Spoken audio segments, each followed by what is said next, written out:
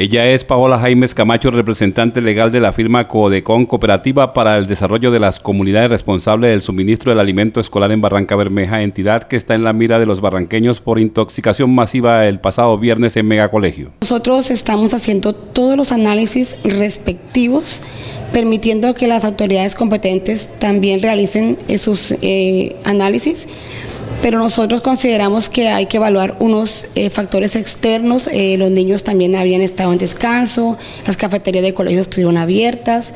No se puede decir con certeza que fue el complemento. En este momento no existe una prueba definitiva que diga que fue el alimento lo que causó los síntomas de malestar que se presentaron el pasado viernes. Para la señora Jaimes Camacho no está comprobado que la intoxicación se haya dado por el panificado a pesar de lo dicho por padres de familia que aseguran el producto estaba vencido. Evidentemente la información que se dio fue que el producto panificado estaba vencido. Quiero decirles que no.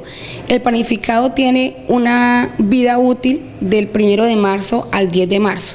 La vida útil que produce, que, se, que hace el fabricante, que tiene un registro INVIMA que lo autoriza para que él produzca y establezca una fecha límite es porque es la vida útil del producto. El producto sigue entregándose en las distintas instituciones educativas de carácter público de la ciudad. La Secretaría de Educación no nos, eh, nos informó que debíamos continuar con la entrega de, de los alimentos, tanto ración preparada en sitio como ración industrializada.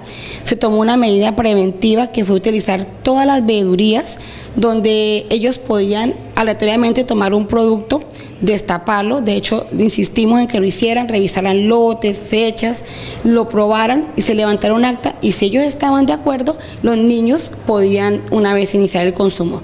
La representante legal de Codecom envió su mensaje a los padres de familia.